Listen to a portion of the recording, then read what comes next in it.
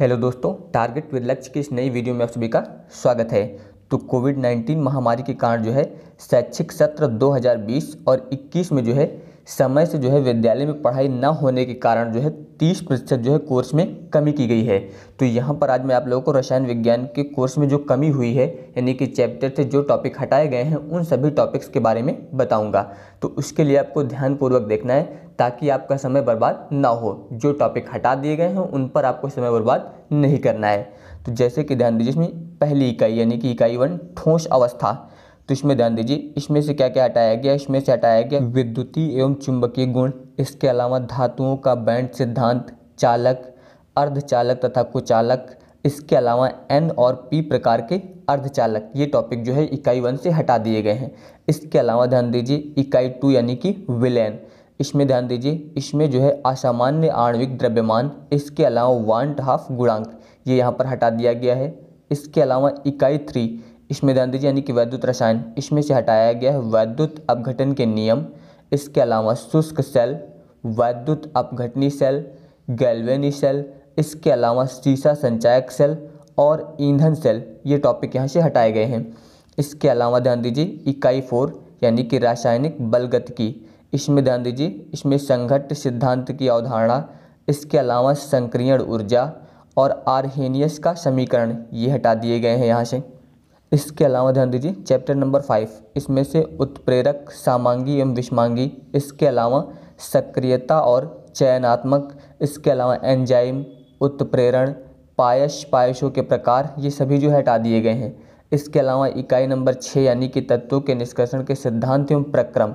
यहाँ पर ध्यान दीजिए, ये पूरा अध्याय जो है हटाया गया है। याद रखिएगा, यहाँ पर ध्यान दीजिए, दिया गया है, इसमें पूरा अध्याय जो है, ये हटाया गया है। इसमें ध्यान दीजिए, यहाँ पर दिया गया है कि निष्कर्षण के सिद्धांत एवं विधियाँ। इसके अलावा सांद्रण ऑक्सीकरण अपचयन, वैद्युत अपघटनी विधि और शोधन, एल्यूमिनियम, कापर, जिंक और और आयरन की उपलब्धता एवं निष्कर्षण के सिद्धांत यानी कि ये पूरा का पूरा अध्याय जो है हटा दिया गया है। इसके अलावा ध्यान दीजिए इकाई नंबर सेवन यानी कि पी ब्लॉक के तत्व। इसमें ध्यान दीजिए वर्ग नंबर पंद्रह, सोलह, सत्रह अट्ठारह इसमें ध्यान दीजिए क्या क्या हटाया गया? तो इसमें ध्यान दीजिए वर्ग पंद्रह के तत्व। नाइट्रोजन की ऑक्साइड केवल संरचना, यानी कि जो उनकी ऑक्साइड उनकी संरचना हटाई गई है। इसके अलावा फास्फोरस अपर रूप, फास्फोरस के यौगिक, यानी कि फास्फीन, हैलाइडों का विरचन विरचन का मतलब होता है विधि, यानी कि बनाने की विधि, और गुणधर्म, इसके अलावा आक्षु अम्लों का केवल प्रारंभिक परिचय, ये सभी जो है हटा दिए गए हैं। इसके अलावा ध्यान दीजिए, वर्ग 16 तो वर्ग 16 के तत्व में जो है सल्फ्यूरिक अम्ल का औद्योगिक उत्पादन हटा दिया गया है। इसके अलावा आप ध्यान दीजिए, इकाई नंबर आठ डी और एफ़ ब्लॉक के तत्व ये हटा दिए गए याद रखिएगा, डी और एफ़ ब्लॉक के जो तत्व हैं, इसमें से ध्यान दीजिए। यहाँ पर ये हटाए गए इसके अलावा लेंथेनाइड यानी कि रासायनिक अभिक्रियाशीलता, ये हटा दी गई है। एक्टेनाइड यानी कि इलेक्ट्रॉनिक विन्यास ऑक्सीकरण अवस्थाएँ तथा लेंथेनाइड से तुलना, ये सभी जो है यहाँ पर हटा दिए गए हैं। इसके अलावा ध्यान दीजिए, इकाई नौ, यानी कि उप संयोजन यौगिक। इसमें ध्यान दीजिए, संरचना एवं त्रिविम समावता हटा दी गई है। धातुओं के निष्कर्षण, इसके अलावा गुणात्मक विश्लेषण और जैविक निकायों में उप सह संयोजन यौगिक का महत्व ये हटाए गए यहाँ पर। इसके अलावा ध्यान दीजिए, इकाई नंबर दस, इसमें हैलो एल्केन और हैलो एरीन इसके अलावा डाईक्लोरोमेथेन ट्राईक्लोरोमेथेन टेट्राक्लोरोमेथेन आयोडोफॉर्म फ्रियान इसके अलावा डीडीटी के उपयोग और पर्यावरण पर प्रभाव ये हटाए गए हैं। इसके बाद ध्यान दीजिए, इकाई नंबर ग्यारह इकाई नंबर ग्यारह में जो है एल्कोहल फिनाल और इथर इसमें ध्यान दीजिए क्या क्या हटाया गया इसमें हटाया गया आपका मेथेनॉल और एथेनॉल के उपयोग। इन दोनों के उपयोग हटाए गए हैं बस, केवल बाकी कुछ नहीं हटाया गया है। इसके बाद ध्यान दीजिए इकाई नंबर तेरह। इकाई नंबर तेरह यानी कि नाइट्रोजन युक्त कार्बनिक यौगिक। इसमें ध्यान दीजिए क्या क्या हटाया गया इसमें साइनाइड और आइसोसाइनाइड उचित स्थानों पर संदर्भ में दिए जाएँगे। इसके अलावा डाई एजोनियम लवण जो है वर्चन यानी कि बनाने की विधि, रासायनिक अभिक्रियाएँ तथा कार्बनिक रसायन में इनका संश्लेषण महत्व ये सब हटाए गए हैं।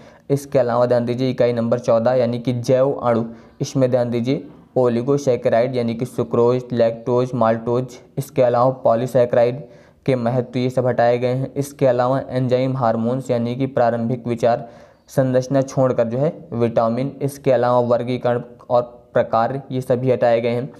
इसके बाद ध्यान दीजिए इकाई नंबर पंद्रह, यानी कि बहुलक। ध्यान दीजिए पूरा अध्याय हटाया गया है। बहुलक जो पूरा अध्याय है, ये पूरा का पूरा अध्याय हटा दिया गया है। इसके अलावा ध्यान दीजिए इकाई नंबर सोलह, यानी कि दैनिक जीवन में रसायन पूरा अध्याय हटाया गया ये भी यहाँ पर पूरा का पूरा अध्याय हटा दिया गया है। तो ध्यान दीजिए यहाँ पर, यानी कि इकाई नंबर पंद्रह, यहाँ पर ये बहुलक जो था, ये पूरा का पूरा अध्याय हटा दिया गया है।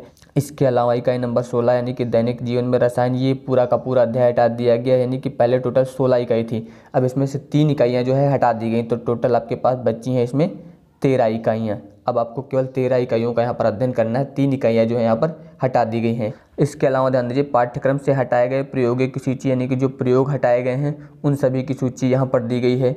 अगर आप ये सूची चेक करना चाहते हैं तो इसके लिए आपको माध्यमिक शिक्षा परिषद बोर्ड की एक साइट है U P M H P dot E D U dot in इस साइट पर जाकर आपको पी डी एफ़ डाउनलोड करना है और वहाँ से आप सभी विषय के भाग चेक कर सकते हैं, यानी कि किस विषय से कौन कौन से टॉपिक हटाए गए हैं। ये पूरा आप स्वयं चेक कर सकते हैं।